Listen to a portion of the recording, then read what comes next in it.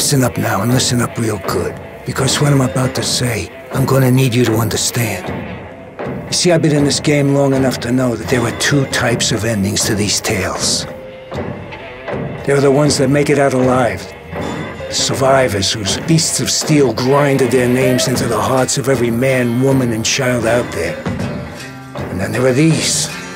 The ones that ended up as another sad sob story to remind kids to steer clear of this life.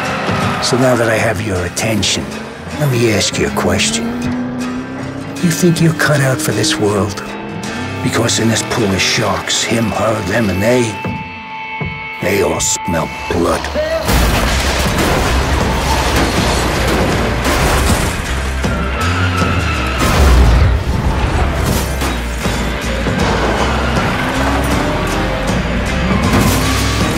You see, this is a hell-raising, death-chasing, hope-smashing, and dream-crashing life, and it won't take no prisoners.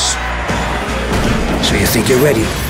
You better be sure, because with 10 tons of steel and fury about to smash into you at highway speeds, you're gonna need every bit of that conviction. Because if it don't, it will become your coffin. You better hold on to that wheel like life itself. Go fast. Ram first. Die last. When you think you're winning, think again. Because that's when the Reapers come.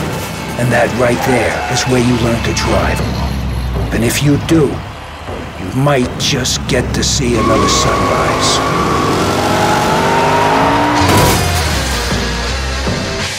Godspeed.